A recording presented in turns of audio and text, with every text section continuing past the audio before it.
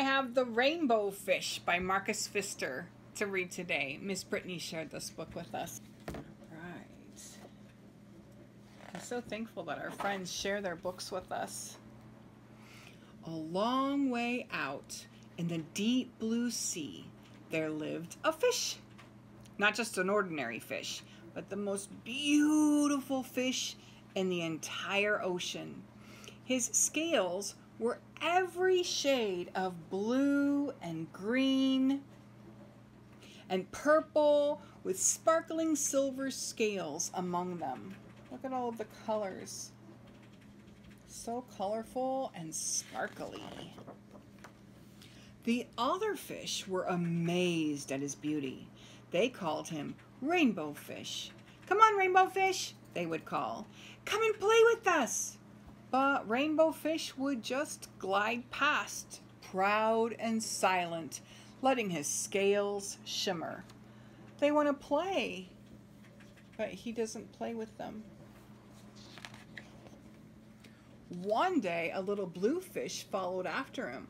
Rainbow Fish, he called, wait for me.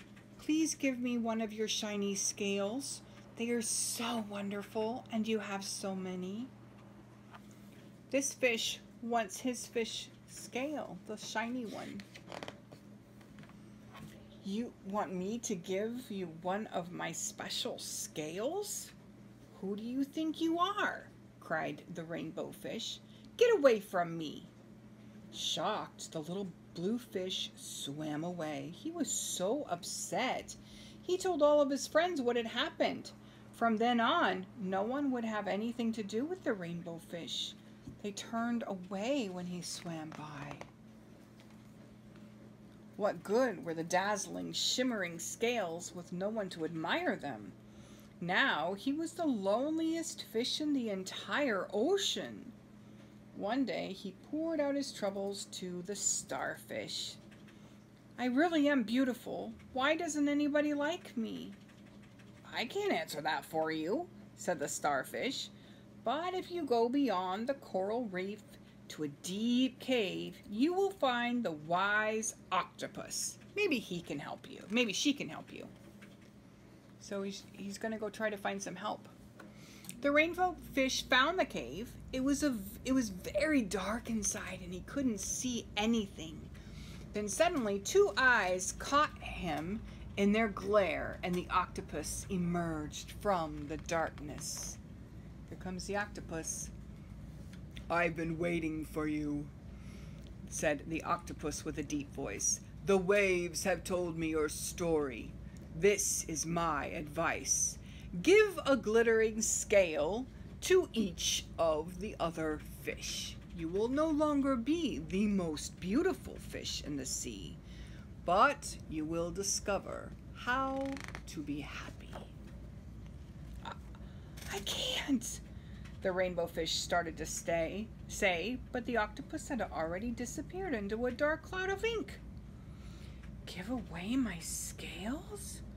My beautiful shining scales? Never! How could I ever be happy without them? He doesn't want to give up his scales. Suddenly, he felt the light touch of a fin. The little blue fish was back. Rainbow fish, please don't be angry. I, just want one little scale. The rainbow fish wavered. Only one very, very small shimmery scale. He thought, well, maybe I won't miss just one. Look, he's giving him a scale. Carefully, the rainbow fish pulled out the smallest scale and gave it to the little fish. Thank you, thank you so much, the little blue fish bubbled playfully as he tucked the shiny scale in among his blue ones. A rather peculiar feeling came over the rainbow fish. For a long time he watched the little blue fish swim back and forth with his new scale glittering in the water. Little blue fish whizzed through the ocean with his scale flashing, so it didn't take long before the rainbow fish was surrounded by other fish. Everyone wanted a glittering scale. The rainbow fish shared his scales left and right And the more he gave away, the more delighted he became. He's happy. When the water around him filled with glimmering scales, he at last felt at home among the other fish. Look at everybody has one now. He gave one to each of the other fish.